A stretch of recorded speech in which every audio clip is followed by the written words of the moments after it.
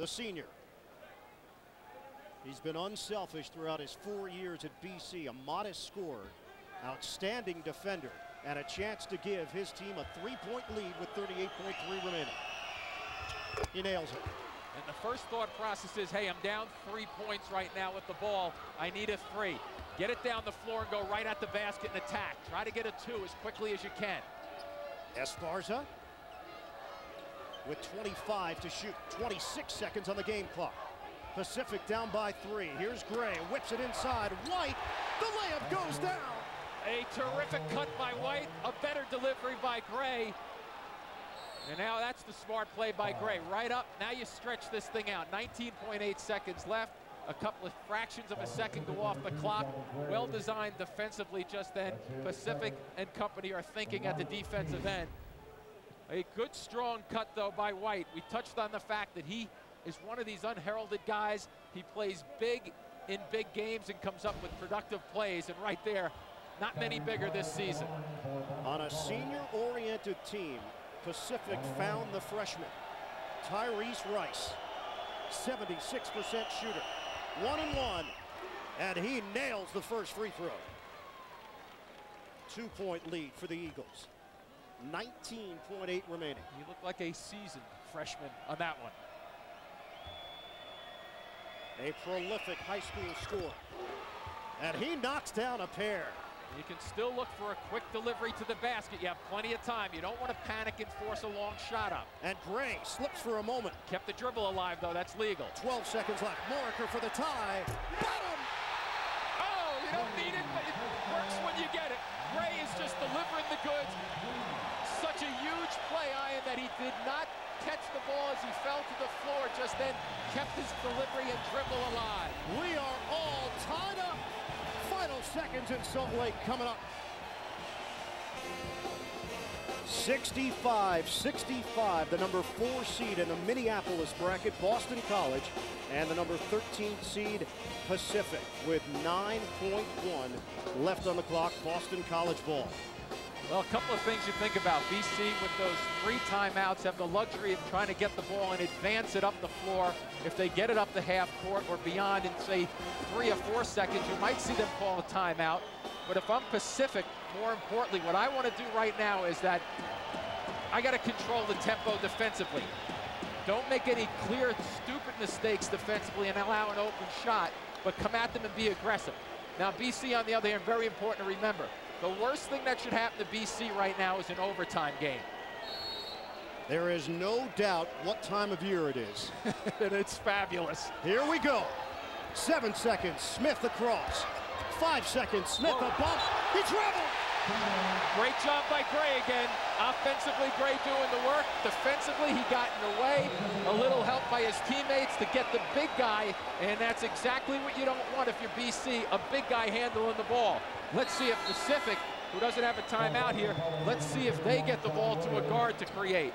One other thing, too, when you catch the ball right now, Ian, you have about two, maybe three dribbles if you're going towards your basket to get a shot off. 3.9 left.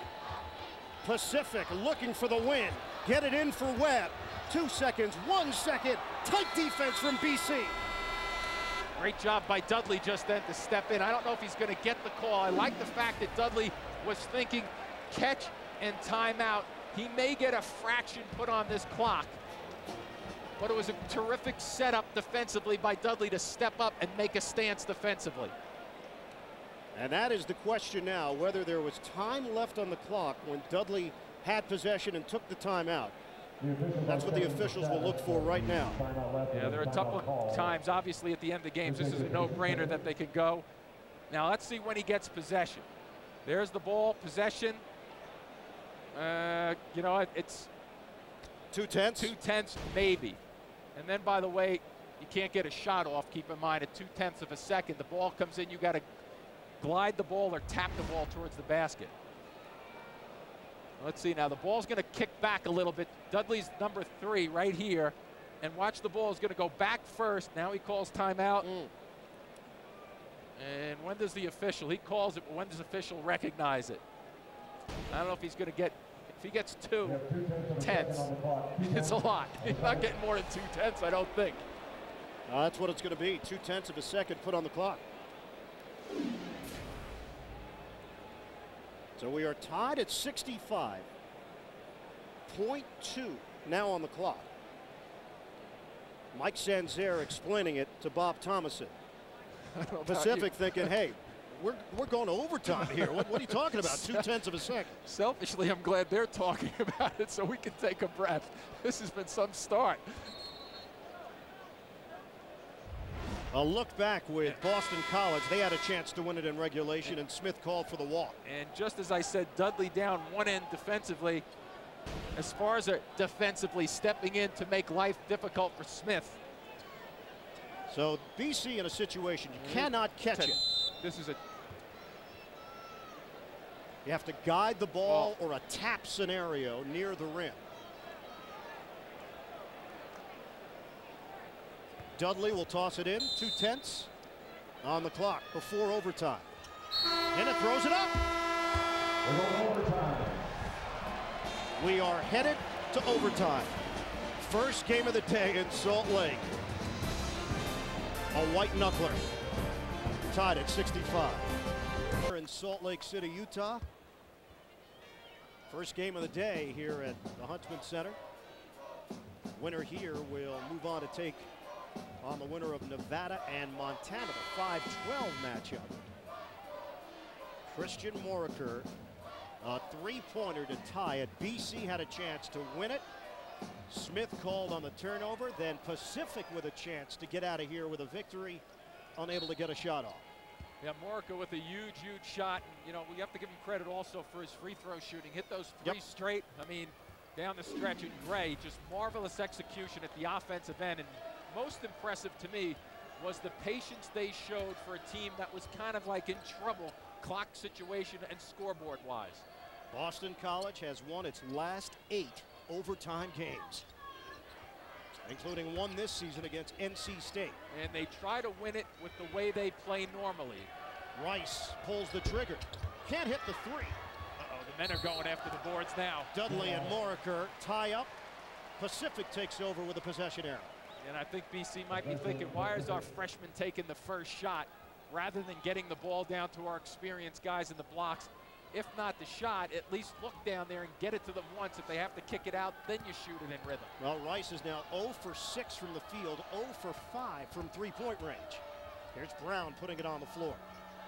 Maraker against Williams. Left hand, no. Not a good decision there. I know he can make that shot, but I think you have to challenge more. This is overtime is about challenging people. That's why I didn't like the outside long shot by Rice and a little flip shot by Maraker down that end. You're going to win this, you got to win this inside and drive it to the basket and earn it and get to the line. Maraker with 30 points and seven rebounds. His career high is 34. There's Hinnant looking. Smith unable to get position down low. Nine to shoot. Hinnant gives it up. Dudley on a pump. Didn't want to shoot it. Yeah. Rice driving. I think your point is well taken just then, partner. Who wants to shoot the ball? These guys are supposed to be experienced players. Al Skinner's team a little tentative right there. Three seconds remain on the shot clock. And BC retains possession. Hinnant looking to get it in cleanly. He does outside. Smith, a three. And it rims out. Dudley pokes it outside. they got numbers here. There's Webb running. Pull up on the way. Count it. That's a three. Once again, usually not your first choice, but he recognized quickly, Webb did, that it was Craig Smith, the big guy. And as a small guy's mindset is coming down the floor, it's either, hey, I'm going to go by you, but if you don't come out and recognize me, I'm quick enough, even though I'm smaller, to get my shot off from long range. Webb has really picked up his scoring over the last month. Was it a three-pointer? Good question. This is what the officials will go look at. They will go look and see that that right foot, to my eye, was on the line. Let's take a look at the low angle. Sometimes it's difficult to see it. Oh, wow. The first one looked like he came to the line. The second one looked like he didn't. That's why we're sitting over here and fans voicing their opinion. Take Let's another take look. look. I'm getting old, Ian. Help me with the eyes. Now, well, doesn't that? That's uh, tight, but I, I, can't say definitively. You're right. You've got shadows. You've got the toe. And this angle here, albeit it's a great look from a camera perspective, the low angle to me makes it even more difficult to see where the line and the toe are. Now that's what the officials are dealing with right now on the other side. Not that it's really that important. Nah. Mike Webb nailing one from what we believe is long range. that is safe to say. It's long, it's close.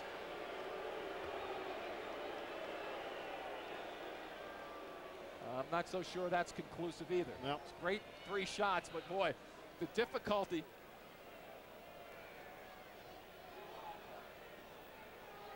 I got I, it as a three, Jimmy. Okay. That's that's what I would go with. On that first one, my first reaction was that right foot slid close to the line. If I'm keeping consistent, I would go that that was a two, but boy, you know, just a quick sidebar too. You know, people in sports, they look at the officiating, they, they comment, because somebody's not going to like this call. Nope. But these officials in, in sports now are playing, these games are being played so quickly, and it's only a matter of inches that make the difference of these calls that it's amazing how quickly they can come to an agreement, but how how often they do get the calls right. Jimmy, on another topic, what does this stoppage do for these players? You've just been battling for 40 minutes. Finally get into overtime, everything on the line, and now we've got a three, three and a half minute stoppage right now. I think two things come into play right there. Number one is we take another look at it there. Hard for me to really be definitive as to whether it's on the line or not. Number two, I think the fact of regardless of whether it's a two or three, Pacific is now waiting this thing out with a little bit of lead. So mentally, it's going to help them. If they get the extra point, it'll give them a real big lift. And it is a three. So they get a bigger lift out of this. They get a little bit more momentum, and, the slowdown for BC works on them a little mental, mentally on a negative sense. Mike Sanzere just put his arms in the air, indicating a three-pointer. Pacific 68-65 lead.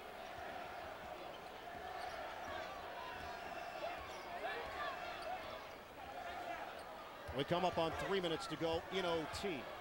Brought back memories of Patrick Sparks, yeah. Kentucky. that was a great game, too. And that one counted for three. Rice. Well, you see the big fake right there. Nice decision, but not a good one there. Oh. Dudley oh, trying to get it oh, back. Esparza again. Tip ball. Webb, another. He's got it. Oh. Oh, baby, what an action play by Esparza down one end to keep a mistake alive, and Webb is just of sight shooting the basketball from long range. 71-65 Pacific. Back-to-back -back trays, Mike Webb. And this building has responded. California, Mike Webb with back-to-back -back three-pointers to give Pacific a 71-65 lead on Boston College. 2.46 to play in overtime. Eagles last year. A second round loss to Wisconsin Milwaukee, a number 12 seed. This year facing a 13 seed. BC was not happy with their placement, a number four seed here in Utah. And I, if you're an experienced BC team, what do you do? You come out and go to your strengths, and that's exactly what they just did to Smith. Al Skinner's team should be through these these battles. We've seen the fact that they've won an overtime game, so it's Nothing new to them. Now's the time to test some adversity, but go to your strength. The senior at the line. Free throw shooting has been a problem. 66% this season. They need them both. Sure.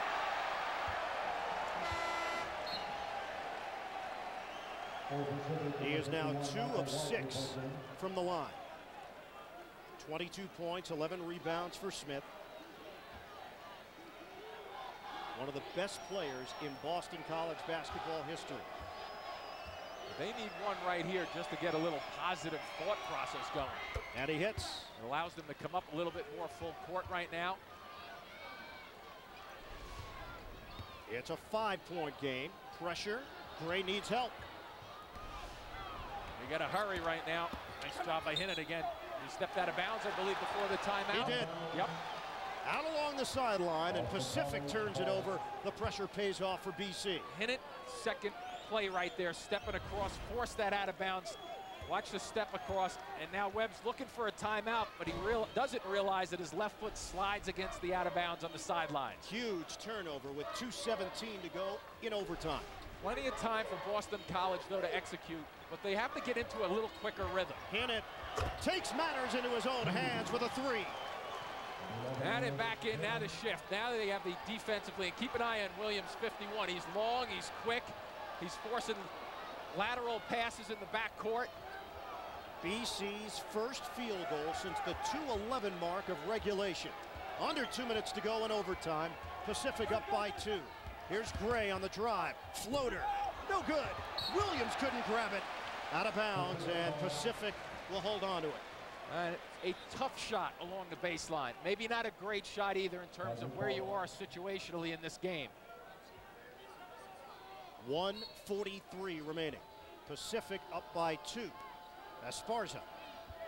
Way outside, deflected. Rice couldn't grab it. Now we've seen Pacific play well when it was a little scattered with Webb jump shots, getting it going a little quicker. Now in the half court sets, they have to be patient, but really have to attack and try to make something happen. You see outside right there, Gray like saying, come on guys, get into something. 15 on the shot clock. Here's Gray. Down to a minute 18 left in overtime. 10 to shoot. Watch by Hinnant. Yeah, I'll be surprised if he lets him go right by him again. Gray lets it fly. Count it! If, A three! If you remember in the first half, the end of the first half, it was the same type of play. Hinnant loud, allowed him to go by him, and he ended up with a foul. He didn't want to let him go by him. Great decision by Gray to pull up. Back to a five-point lead for the Tigers. Under a minute to go. Dudley oh. answers with a tray. These guys are stepping up here early on. 74-72 Pacific. 47 seconds left in overtime. Esparza handles the pressure. A 16-second differential, so BC has the luxury right now, playing with a sense of urgency defensively, but do not need the foul. And right now, I'm not a big fan of waiting this thing down to seven seconds or so, and that looks like what they're going to do. Esparza holds, nine to shoot. Pacific up by two. Esparza makes his move. Outside White, short. 18 seconds left. BC with a chance to tie or take the lead. Freshman running the point. Al Skinner wants to talk things over. Good call by Al Skinner to talk things over. Down two with 12 and change left. What a battle this has been. Two-point game in Salt Lake. A terrific start in Salt Lake City and a better finish for Pacific coming down the stretch. As Maraker hits one shot from long range, then they come back to back with Webb going deep. Gray deep again. This team is playing with poise and confidence down the stretch. And I'll tell you, it's been fun, it's been fast. And I thought there were a couple of times, especially about the 10-minute mark in regulation, as you touched on, it looked like Pacific was almost ready to go down. BC was trying to knock them out, and they hung around and forced this thing into overtime, and BC has to go right at this basket quickly right now. Here we go, one possession game, 12 seconds left in overtime. BC trails by two. Hinnant, six seconds left. Smith gets it. Smith turns. Smith, foul call with 4.3 remaining. You know, it's interesting to me, not a bad foul because his free throw shooting hasn't been great. So you know what, the thought process, okay, if, if they're going to earn it, let them get to the line with Craig Smith, who has been struggling from the line. He is three of seven from the stripe here today. Biggest free throws of his four-year career. Down by a deuce. Smith on target. Now I know it's a simple thing, but everybody on the line, Bob Thomason's yelling down to his team, lock out. You heard it in the CYO leagues when you were five, sixth, fifth grade, sixth grade. Get the rebound. BC trails by one for the tie. Smith. He oh. drains it. Boy, is that ever clutch for a senior to step up. Three seconds left. Gray with a chance to win it underneath. Time expires. Oh, oh how did White ever get open down there? We are going to a second overtime in Salt Lake. I think he came from the bleachers. 74-74. Double overtime. First round action.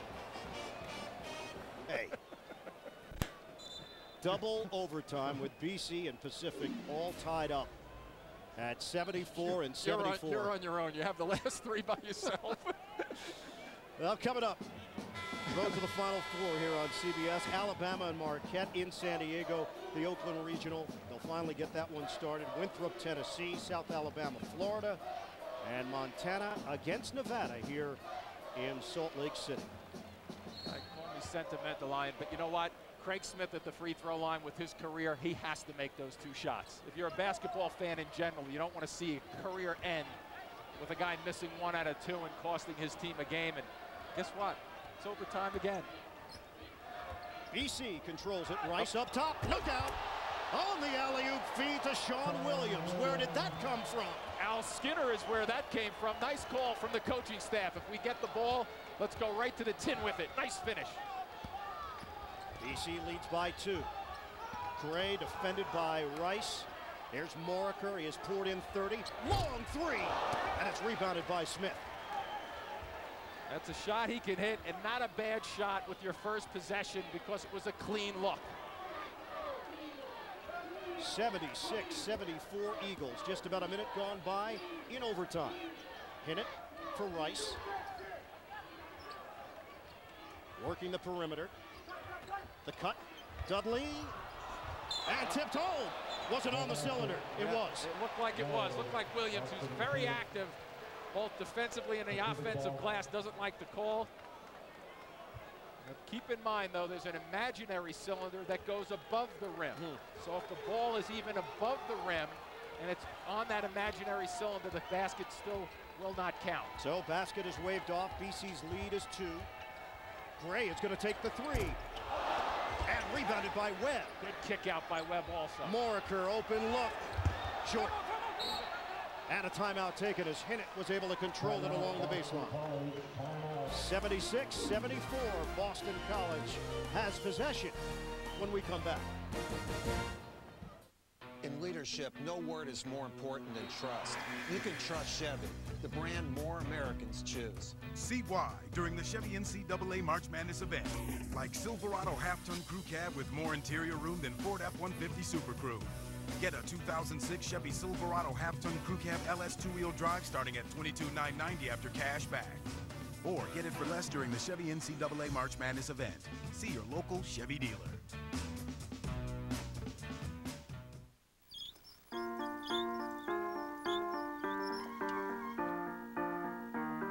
Sometimes just getting to retirement seems impossible. That's where we come in. As the nation's 401k leader, the Principal offers many simple ways to plan for retirement, making it easier for you to get where you're going. The Principal Financial Group will give you an edge.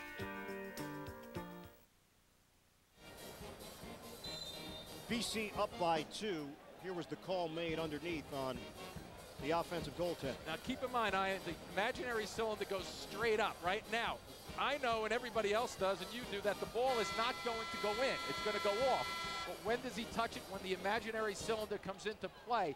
Just because the ball is going to miss, you can't assume that it's going to miss. I think the officials got that one correctly. LBC's got the two-point lead and the ball with 3.38 remaining in double overtime. Extended minutes for Tyrese Rice, the freshman. They break the trap. And now settle into a half-court set. Hinnant. Dudley. 16 to shoot. Spread it around. Rice, that's a three. He hits. Hey, a little cautious in that first overtime, but now all of a sudden stepping up. Greg Gumbel in New York will keep track of this game for you. But meanwhile, those of you scheduled to see action in Jacksonville, South Alabama will face Florida. We will take you to Tim Brando, Mike Gminski, and Stephen Bardo after this word from your local station. Everybody's watching March Madness only on CBS. Right now, coming down the floor, a huge possession for them to get a good look. Down to 2.49 remaining in double OT. And another steal. It is falling apart for Pacific. They can pull this one out. Nice decision right there with the lead. Play the clock a little bit right now. Don't go into a stall, but play it smart. Nice little run over the last five minutes for BC. Two and a half to go. Rice calls out a play. There's Smith hit the two clutch free throws to ensure a second overtime for Boston College. Doesn't take the shot, six to shoot. Shot clock winding down. Now Smith, little bump, spin, no good. Maraker clears it. We got to look for something quick here once again. Not a panic shot. Still plenty of time. Two minutes to go in double overtime. Webb's had the hot hand. And the rebound to Williams of BC. Williams goes up a little higher than most people, doesn't he?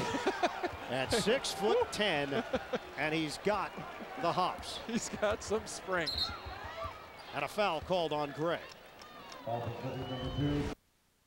This cold, it ends up this. Set it up. First one right here. Rice gives it up unselfishly. Hit it, and now the big time finish. Wow. Perfectly done. Look at him come right down the middle of the gut right there and finish it off. Yeah, that's getting upstairs. Tyrese Rice at the free throw line, double bonus. And Rice makes the free throw. Lasts every turn.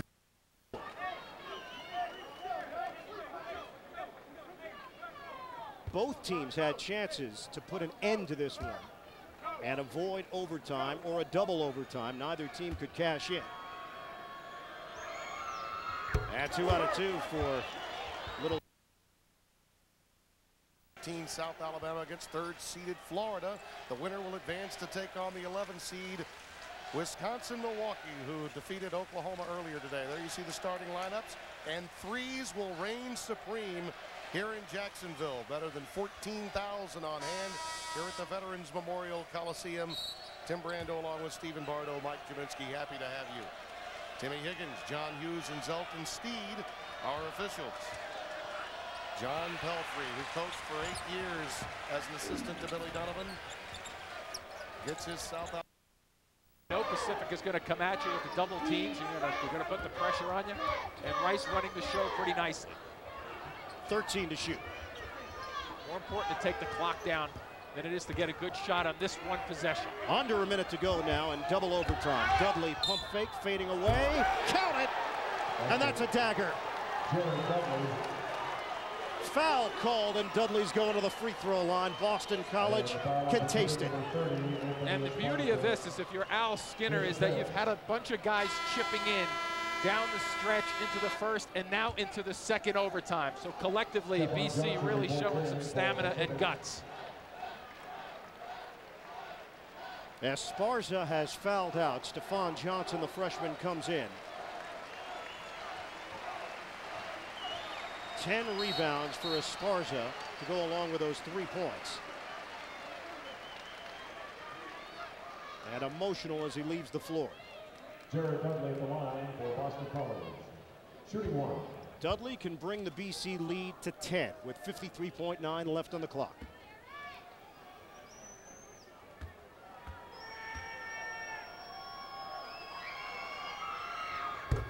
It's good. And Dudley, big numbers for him. 23 points, five assists. Final 45 seconds. Gray to the rim. Rejected by Williams. You do not, emphasize not, bring it in there weakly against Williams with the way he can block shots. And that's your exclamation point here in the second overtime. Foul called with 29.3. Our Chevrolet players of the game, Christian Maraker, 30 points for Pacific. Craig Smith, 25 points, 13 rebounds, and a couple of big free throws in recognition of their determination and outstanding play. Chevrolet will make a $1,000 contribution to each university's general scholarship fund. America's brand supports America's best, Chevy, and American Revolution. Rice to the free throw line. Just keeps making plays for BC. And for Craig Smith. BC wins it 88 to 76 over Pacific. So the Eagles move on to the second round. They'll wait the winner of the Nevada-Montana game coming up here in Salt Lake. For Jim Spanarkel, this is Ian Eagle. So long from the Huntsman Center BC a winner in double OT. This has been a presentation of CBS Sports on our 25th road to the Final Four. Greg Gumbel coming up after this. All right, so Boston College is a winner in double overtime in the Minneapolis bracket. The Eagles advance over a tough Pacific Tigers team 88-76. Meanwhile, in action right now in the Washington, D.C. bracket. Tennessee with an early four-point lead on the 15th seed Eagles from Winthrop. Also in action now in the Minneapolis bracket, South Alabama and Florida just getting underway in the first half of that game. Two other games still to tip. Alabama and Marquette. Tip time out in San Diego will be at 3.50 Eastern Time. Montana and Nevada will tip in the Minneapolis bracket out in Salt Lake City in about 30 minutes, coming up at about 3.55. That is action still to come your way here on CBS after this word from your local station.